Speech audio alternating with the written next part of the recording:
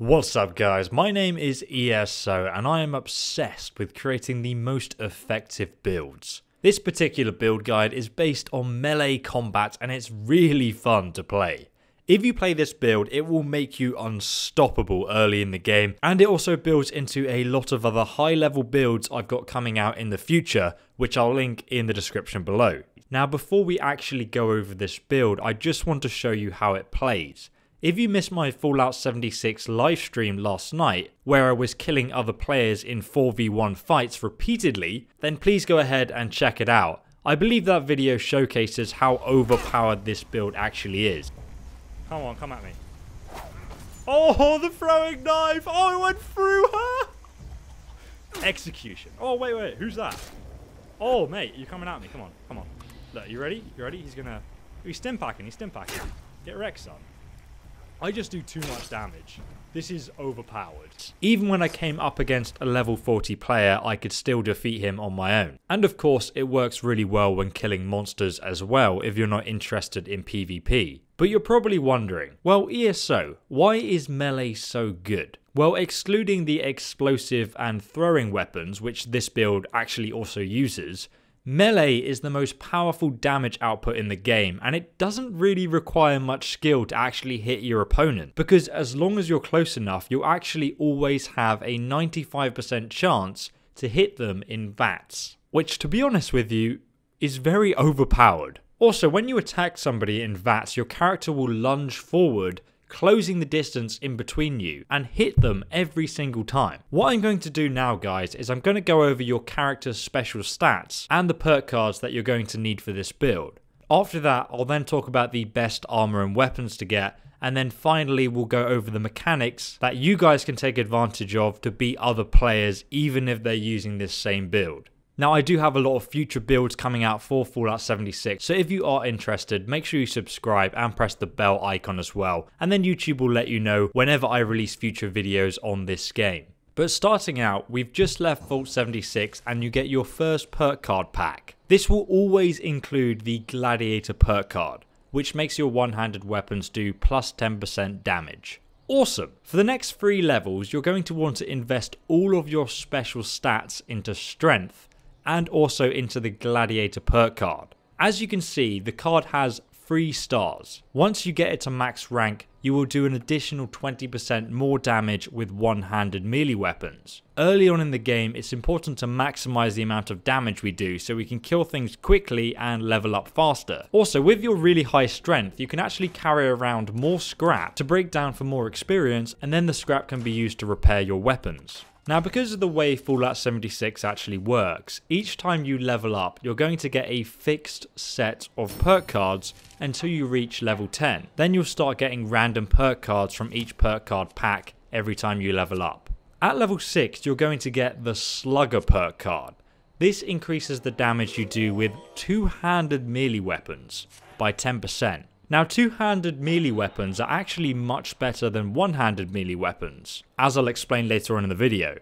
So from now on, whenever you find the Slugger perk card, invest it into this and just get rid of the Gladiator perk card for now. Now make sure that you keep your strength at 3 until you finish the rest of this build guide video, because increasing your strength by 1 only increases your melee damage by 1 damage. There are far more effective things that you're going to want to invest in early on in the game. Don't just put everything into strength. Instead, a more effective way to do this is to just get power armor which gives you 10 strength automatically at the very start of the game, and obviously that's super efficient. And I'll leave a guide on where you can find power armor down below in the description.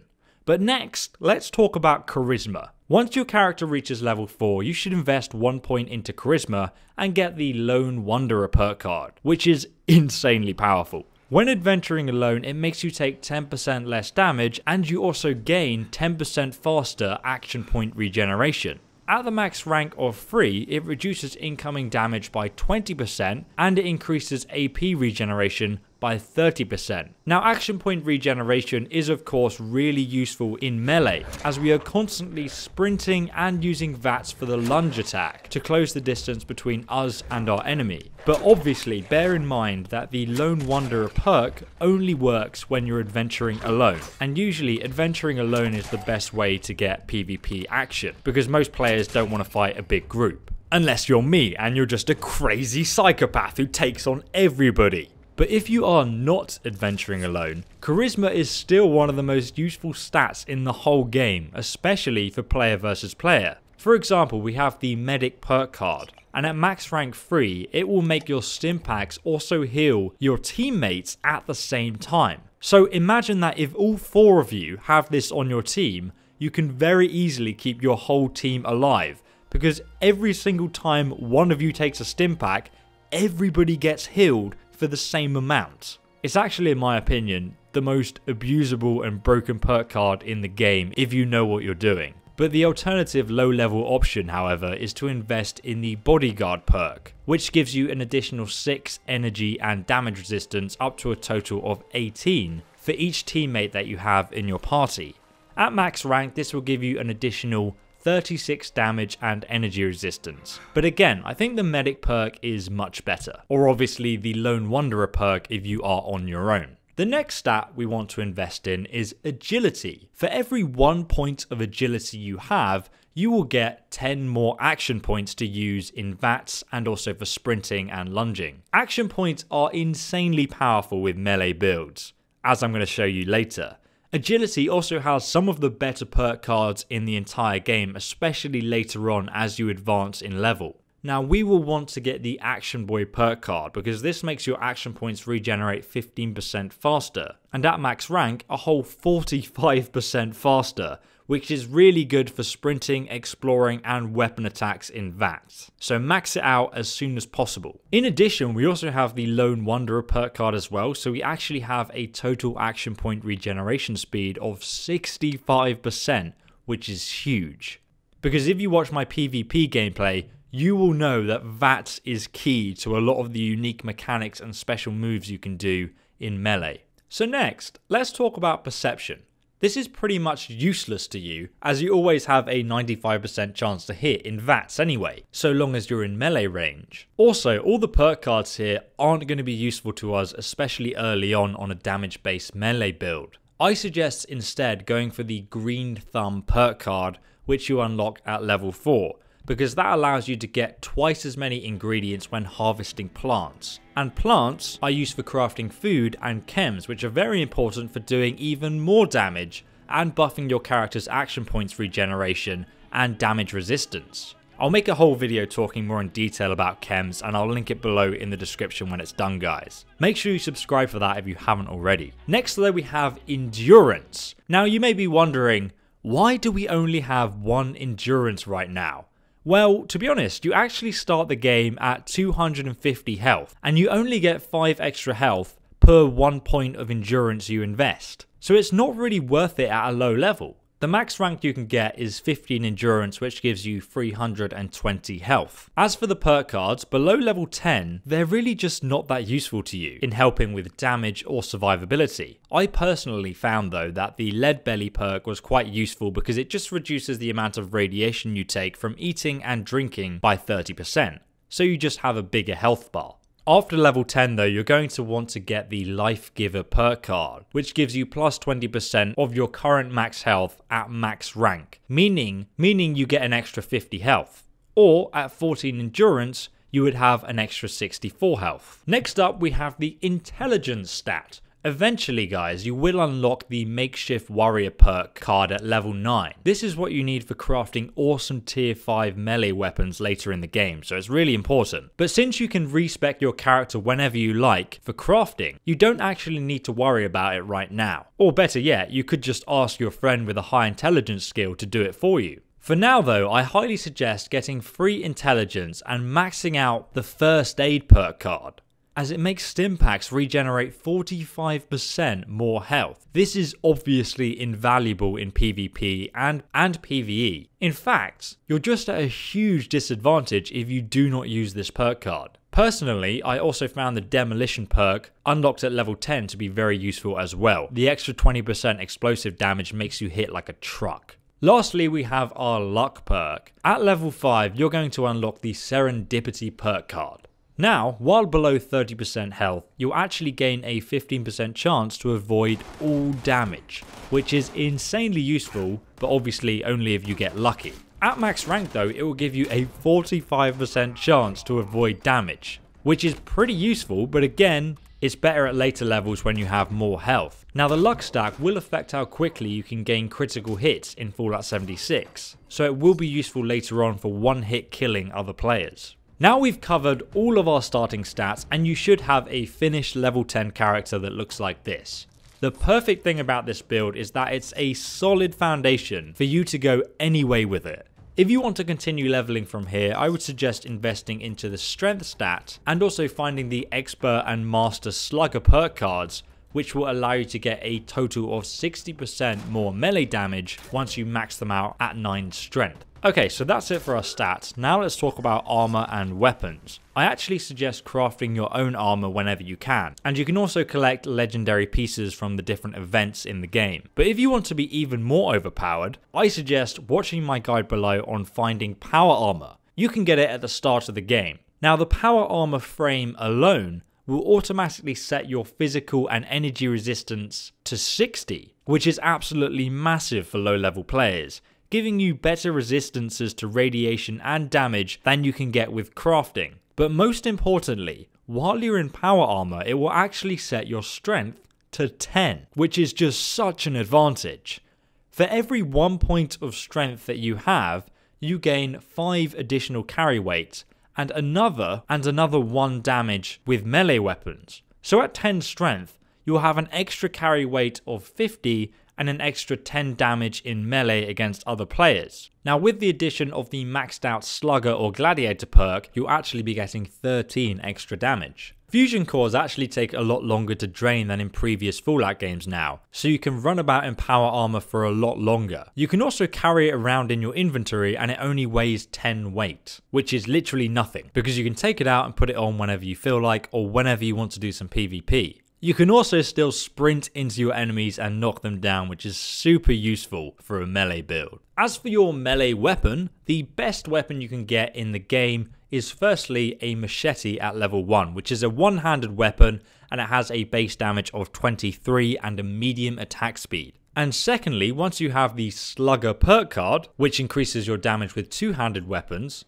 I suggest swapping to the Fire Axe. You can find a fire axe easily off one of the enemy scorchers. The fire axe has a base damage of 43 and has a slow attack speed, but it's so effective in PvP and PvE. It's literally the best melee weapon you can get in between levels 5 and 15. Don't worry about its slow attack speed guys, in my testing I found that slower harder hitting weapons were the most effective at killing players and monsters, because I could just attack them, dealing a lot of damage, and then immediately block to deflect oncoming blows. And then I would just do the same again. Each one of my hits that connected would absolutely decimate the other player. This was much easier than trying to use a dagger, but I would constantly get hit in between attacks, so my overall damage per second would be a lot lower. So the more damage a weapon does, the better basically. Lastly, we have the throwing weapons. Oh my god, these are so fun.